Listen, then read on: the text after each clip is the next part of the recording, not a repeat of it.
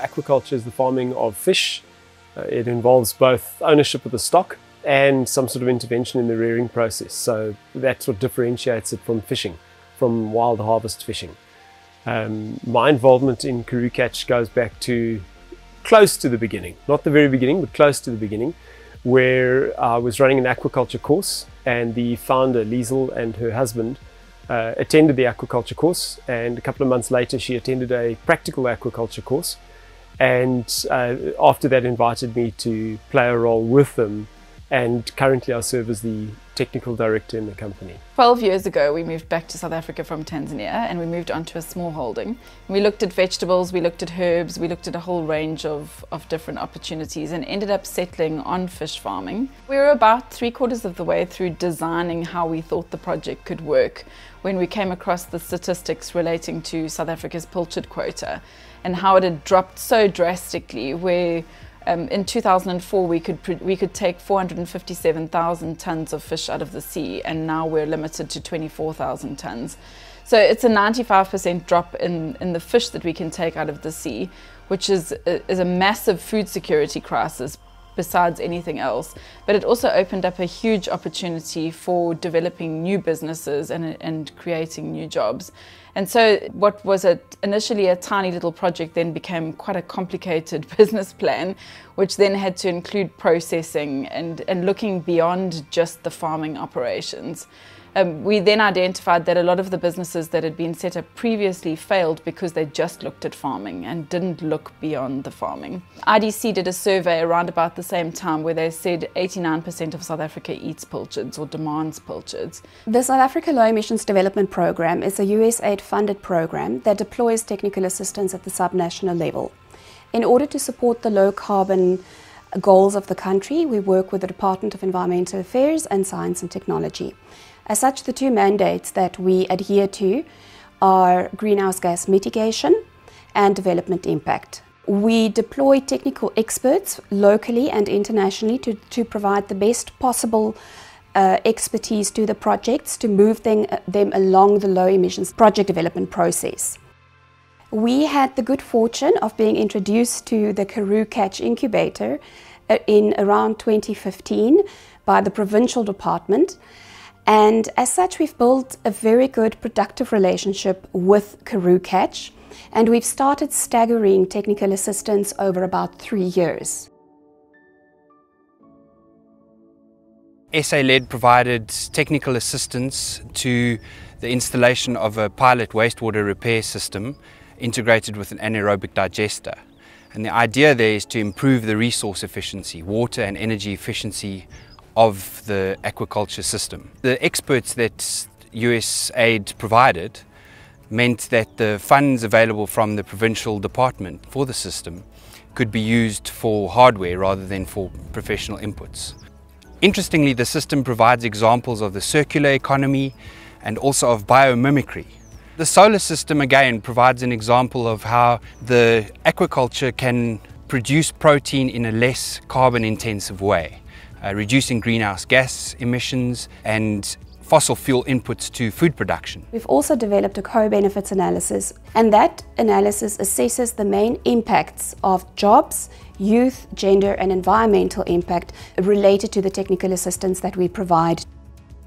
Once the incubator is successful, we need to know uh, how we measure that success and, and that success is really based on three pillars. We, we obviously uh, remain with our, our, social responsibilities in terms of the empowerment of our, our people and the community.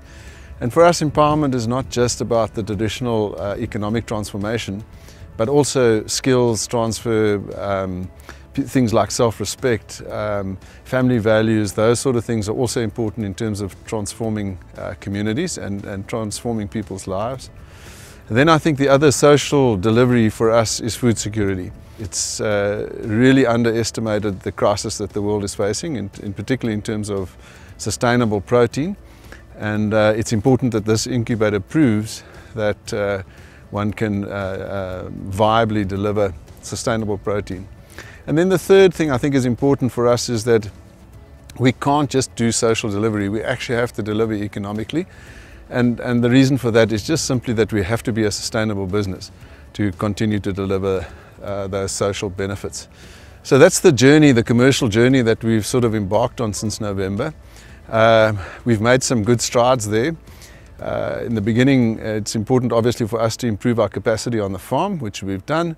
Um, and, and we hope to have about nine tunnels running in the next sort of 12 to 18 months.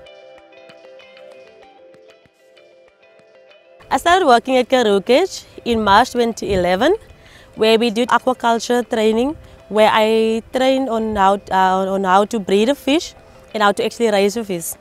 So what I'm doing now here is that I'm also a trainer here, where I'm doing the aquaculture training, where I'm, I am teaching the people what I have done. So they are doing from the beginning of how to, to, to rear a fish until the fish is grown up for processing. I was a stay-at-home mother, so I heard about this opportunity here uh, from a ward councillor. And then I applied for it and I was accepted and then we started in 2011. And this is an ongoing training. It's not when you finish, it's done. No, it's ongoing up till now. At the moment now, I am public relations director. So it's definitely enriching and empowering us. That is why what we actually stands for is empowering our people. What we're doing you is like a soccer tournament. We score them on a weekly basis, like on performance. The reason why we're giving prizes is to make them excited. When I see now the tunnel is neat, clean, and I can say no, a 10 for the week. This is how we're doing our elevations on individual person or in inside the tunnels. I train the people here at Karoo Catch, train them how to dissect the fish and how to fillet the fish and how we're actually doing de-skinning and how we're processing it into a final product like fish balls, kids burgers. Some of those products we give it to the community. The people in hospital, we also provide them and they were very actually excited to receive the product from Karoo Catch. The other area I think that we are looking at um, that's also very exciting is what additional opportunities we can create downstream uh, if I could call it on the demand side of our supply chain for SMME development and, uh, um, and creating business opportunities for people on the, on the fine distribution side. We're doing research and development on um, uh, uh, handheld applications or mobile applications that we can create a fine distribution network based on asset sharing and based on technology and payment solutions to actually get our product out to the market at a better price and then also creating um, opportunities, new business opportunities for, for, for additional people.